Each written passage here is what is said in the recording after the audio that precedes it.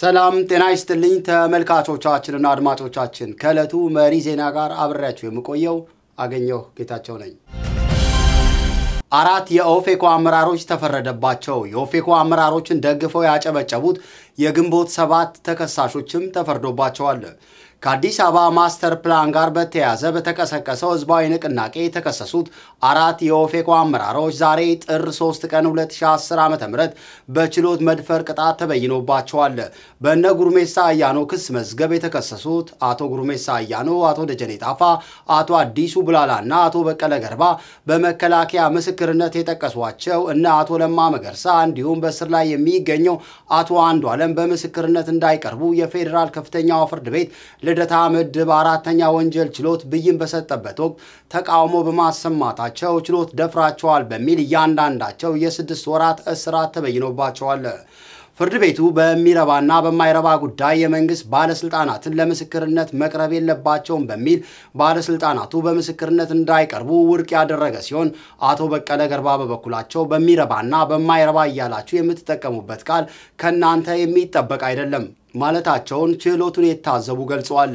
አቶ ደጀኔ ጣፋ በበኩላቸው አቃቤ ሕግ አመራሮችን ጠርቶ አስመስክሮብናል። እኛ አመራሮችን በምስክርነት ስንጠራም መመስከር የለባቸውም ሊባል አይገባውም ሲሉ በችሎቱ ተቃውሟቸውን አሰምተዋል። ተከሳሾቹ ደም ደም ትሸታላችሁ፣ 26 ዓመት ሙሉ የኦሮሞን ሕዝብ ገድላችኋል፣ 26 ዓመታት ሙሉ በኢትዮጵያ ሕዝብ ደም ተጨማልቃችኋል፣ ሞት በእኛ ይብቃ ሲሉ እንደተናገሩና እንደዘመሩም ታውቋል።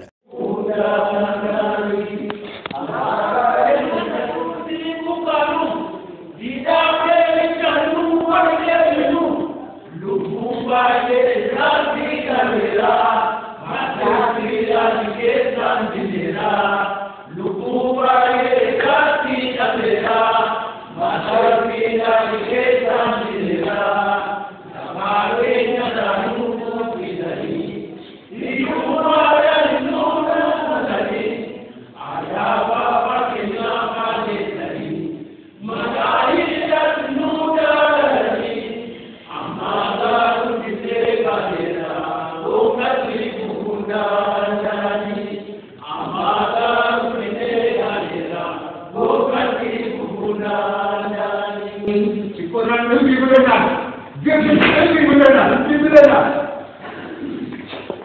ለእኛ ሞት አዲስ እንሞታለን፣ ለመብታችን እንሞታለን። አመራሮቹ በፍርድ ቤቱ ውሳኔ ተቃውሞ በማሰማታቸው በችሎት መድፈር በተፈረደባቸው ወቅት ፍርድ ቤቱን ብይኑን ሲያነብ አንሰማምም ብለዋል። በእነ አቶ በለጠ የክስ መዝገብ በግንቦት ሰባት ስም የተከሰሱ ሶስት ተከሳሾችን በበኩላቸው እነ ጉርሜሳ ሲፈረድባቸው አጨብጭባቸዋል በሚል በችሎት መድፈር ሶስት ወር ተፈርዶባቸዋል። ሶስቱ ተከሳሾች ለምን አጨበጨባችሁ ተብለው በፍርድ ቤቱ ሲጠየቁ ወንድሞቻችን ስለሆኑ ነው ብለው ምላሽ መስጠታቸውም ታውቋል። ከችሎቱ ወጥተው የእስረኞች ጊዜ ማቆያ የነበሩ እስረኞችም በኦሮሞኛ ሲዘምሩም ተደምጠዋል። በአማርኛ ሞት በእኛ ይብቃ፣ ደምደም ይሸታል ቤቱ የፍርድ ቤቱ እያሉ ሲዘምሩም ተሰምተዋል። ተመልካቾቻችንና አድማጮቻችን ተጨማሪ መረጃዎች ካሉ ይዘን እንቀርባለን። መልካም ቆይታ